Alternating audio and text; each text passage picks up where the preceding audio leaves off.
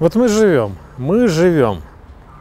И давайте определимся, для чего мы живем и благодаря чему мы живем.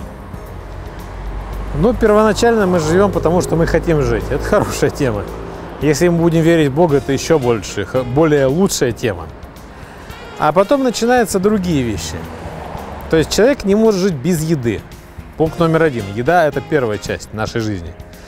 Пункт номер два. Человек не может жить без войны. Я противник войны как таковой. Неужели сложно просто договориться о чем-то? Человек не может жить без э, одежды. Человек не может жить без электричества.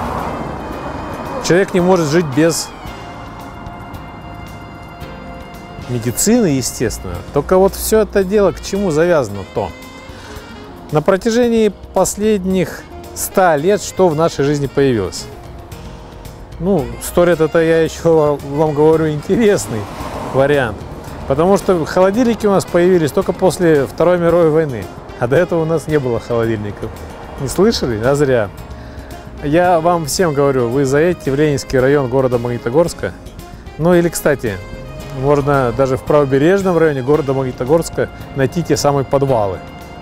Потому что раньше в подвале, в подвале температура всегда была, естественно, ниже, чем окружающая среда, все хранилось гораздо более дольше. Другой вариант, где вы храните картошку, тоже в подвалах, без света, естественно. То бишь, вот так мы и жили. А сегодня, сейчас мы завязаны вокруг электричества, потому что не будет электричества, не будет у вас оружия, не будет электричества, не вы сможете вы сделать антибиотики и все остальное. А, не будет электричества, вы вряд ли что-то сможете приготовить надолго. То есть мы говорим об электричестве. И даже если бы мы не говорили об электричестве, вы вряд ли бы смогли ездить на машинах. Потому что в машинах это большая часть электрической составляющей. Свечки чем зажигаются? Электроимпульсами. Да-да-да, дорогие мои. Если бы не было электричества, ваши машины просто бы не поехали. И возникает вопрос, насколько все это дело безгранично. Так вот, э, сто процентов это все не безгранично. Потому что даже если это генераторы, то рано или поздно э, э, щетки истираются, и вам необходимо будет все это дело поменять.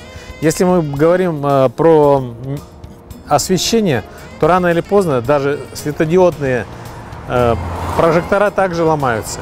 Это все не бесконечно. Это все далеко не бесконечно. А мы вам поговорим, э, насколько это сложно работать, если у вас есть то самое качественное место обслуживания вашего электричества. Что это такое? Это электросила. Здесь на Комсомольская 17 и на вокзальной 5. А вы покупаете товар в электросиле. Насколько это сложно для вас? Нет, очень просто. Очень легко очень доступно. А скажите, пожалуйста, вот вы сюда часто приходите? Иногда прихожу. А вопрос такой, сложно ли вам покупать электричество здесь, в электросиле? Почему? Ничего не сложно. Спокойно, ровно, да? И недорого. Нормально. То есть жить Очень. можно с ними, да? Можно, да. Хорошо, удобно.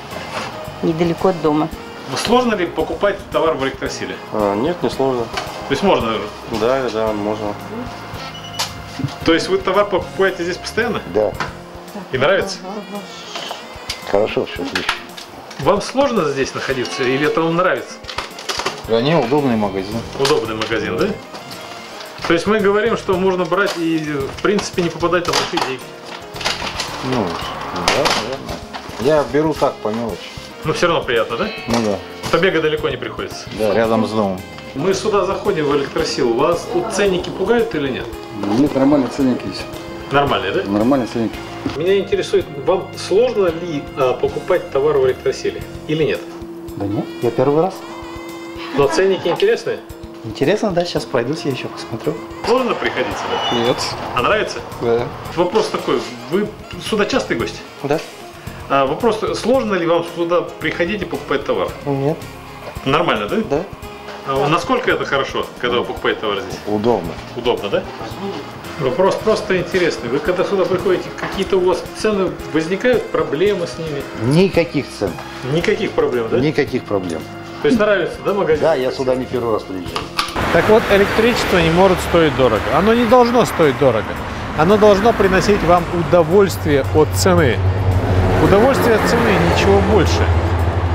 Потому что все ломается рано или поздно. Лампочки сгорают, а, термоприборы тоже туда отваливаются. Это нормальное явление. Только вы должны понимать, что когда все это дело случилось, вам достаточно просто съездить на вокзальную 5, либо на Комсомольскую 17 в электросилу и все это дело купить. И по цене это будет то, что должно быть. Недорого и вкусно.